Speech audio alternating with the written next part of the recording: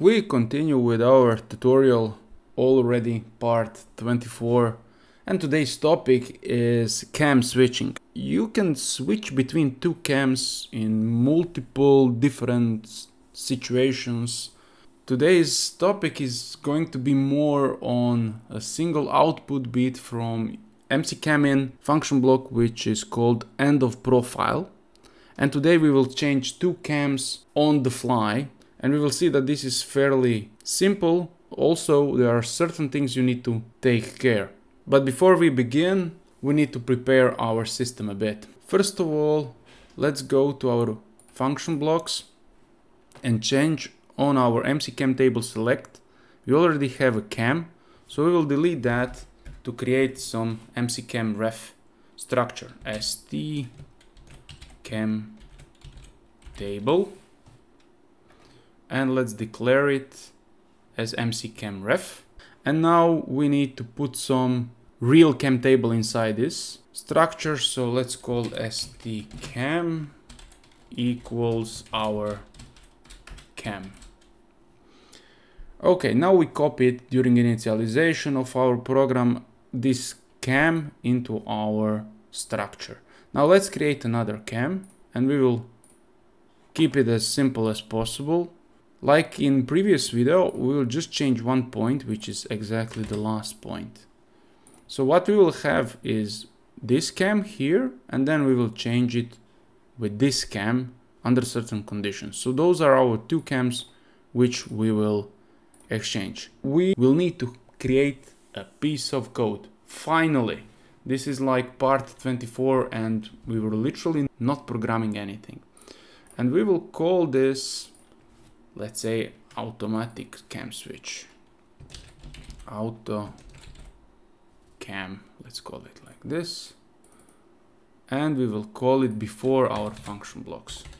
So cam switching and auto cam.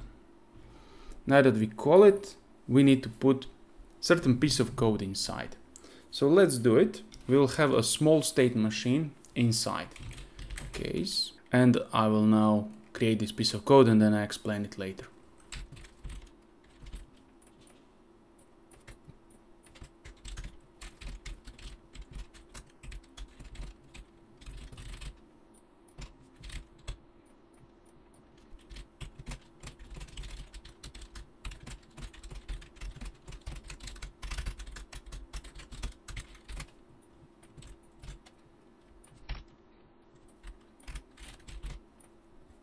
Okay, we created our piece of program and it's fairly simple. So every time we flip one switch, one switching variable, and there is end of profile on mccamIn, we will alternate our cam.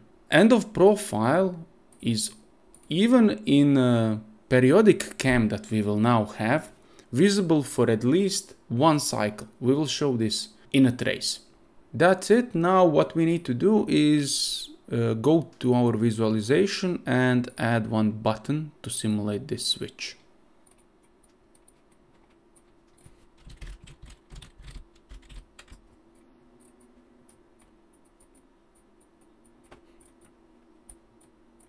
Okay, we have our button and now let's just adapt a little bit our trace.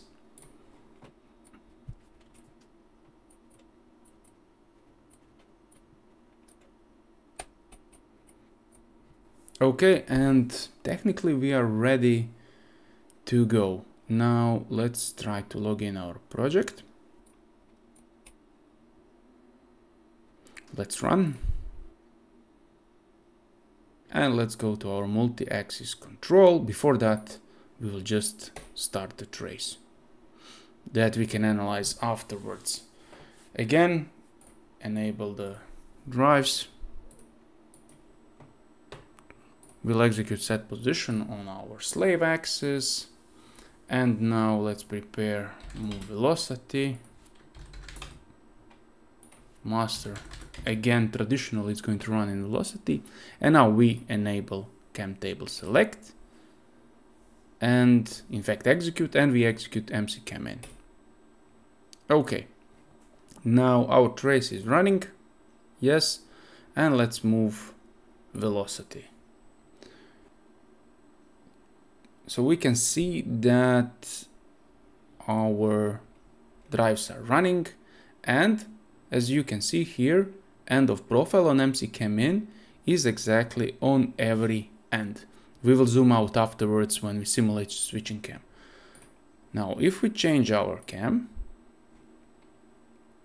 let's go back to the trace. Here we have change of state and it will start to create another cam.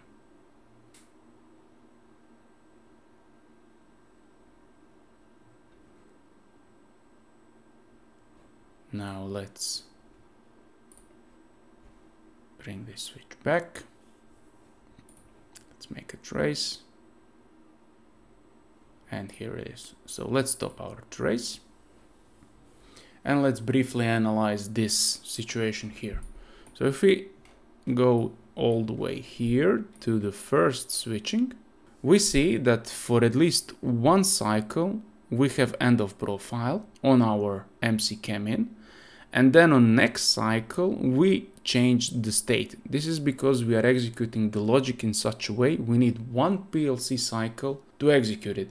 Now this is not a problem at the moment mainly because our cam profile at the switching point are so leveled up that there is no visible jump but also more important is that our cam is still in absolute so we do not lose any points while we are camming.